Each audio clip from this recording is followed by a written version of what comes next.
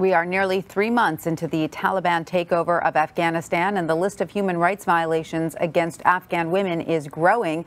The Taliban have tried to reassure the world they respect human rights, but the Human Rights Watch says so far women have been denied the right to work and a secondary education.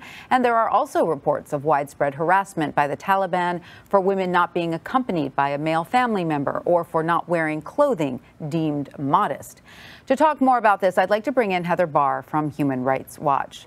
Hi, Heather. Thanks for joining us. So, as more rights are rolled back, what are the larger concerns for the safety of Afghan women and girls?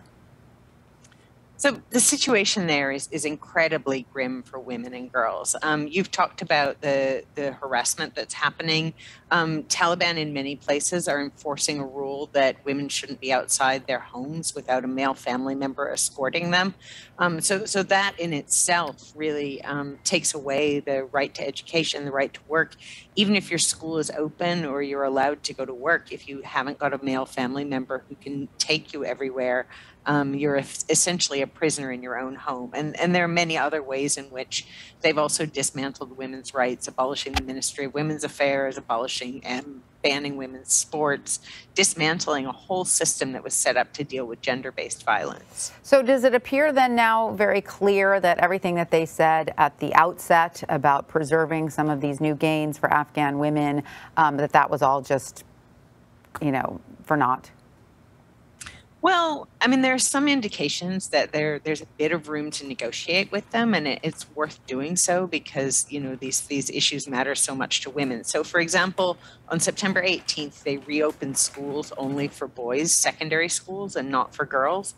Since then, they they have reopened at least some girls' schools in about five provinces, and that seems to be a result of negotiations um, and pressure from the local community who want their daughters to study. So I think this is an indication that um, that there is some room to negotiate, and we'd like to see the international community trying harder to really push um, for for more respect for rights, even if it's incremental. Right, and especially now when there is such a need for humanitarian aid there, correct? And how does it work with the Taliban now banning most female aid workers from operating in Afghanistan? Is that correct? How is, how is that decision worsening the overall crisis there? So yeah, as you say, the, the most serious crisis for women and girls is um, is the humanitarian situation. The head of the World Food Program for the United Nations has said this week that about 95 percent of Afghans don't have enough food to eat. There are about 3.1 severely, 3.1 million, sorry, severely malnourished children. Um, so one of the issues we've written about in the recent days is the fact that the Taliban is um, is restricting the ability of female aid workers to work um, in a majority of provinces, they're they're imposing rules such as saying that these workers have to have a male family member with them, chaperoning them um, at all times while they're doing their jobs. And the reason that this matters so much to women and girls is, first of all, there's a huge number of female-headed households in Afghanistan. Um, so many men were killed during the conflict that's been going on for 40 years that that women are often heads of households and they're the ones who've been hit hardest because they've mostly been pushed out of their jobs by Taliban policies restricting women's ability to work. So that's one issue. And then another issue is that in all households, girls may face greater risks than, than boys and women more than men. So, for example, um, an aid agency was telling me the other day that they're seeing many more girls admitted to hospital for malnutrition than boys. And we've seen stories about people selling their children. Those children being sold are almost always girls.